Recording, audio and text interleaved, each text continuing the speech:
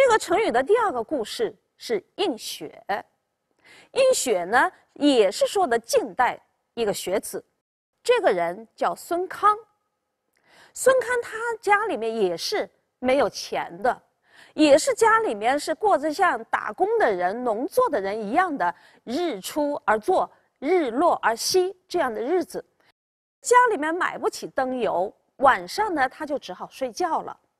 有一天他晚上睡觉呢，他就经常是很不满意，总在想书的事情，那经常做梦。有一天晚上他做梦呢就醒来了，醒来了以后呢，看到窗户。透出一丝亮光，哎，他说这是什么亮啊？打开窗户一看，外面白茫茫一片，原来是下雪了。他就走到院子里边去，然后欣赏这个银装素裹的雪景。在这雪景里面，他看到雪景映衬着自己，这种色彩对比非常的分明。于是他就想，哎，这个雪景的这个光能不能用来照亮我的书呢？赶快跑到屋里边去，把书拿出来放到雪地里边。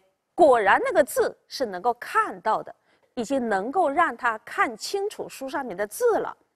这样一来呀，只要有下雪，他也都会采用这样一个办法。这样一种学习的方法，让他的学业飞快的成长。用易学的方式来说明他是怎么样勤于学习。最后呢，成为一个有用之才的。